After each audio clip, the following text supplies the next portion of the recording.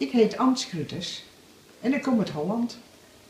U bent opgenomen geweest in Niemet Hospitaal. Hoe, ben- hoe bent u er terecht gekomen? Ik ben nu met de ziekenwagen hier naartoe gebracht, daar had ik, omdat ik bij de caravan was gevallen. En ze hebben me hier binnengebracht bij de eerste hulp. En daar ben ik eh, met eerst foto's genomen en toen daarna hebben ze mijn pols gezet. En nu moet ik nog geopereerd worden aan mijn, ar- aan mijn schouder. Hoe was de opname in het hospitaal? Perfect, maar zeer goed. Zeer Hm? goed, ja. Uw verblijf in het hospitaal tot hiertoe? Zeer goed, helemaal goed. Ja. Is het al voor u een probleem in het hospitaal? Nee, niet echt. En er is een goede tolk.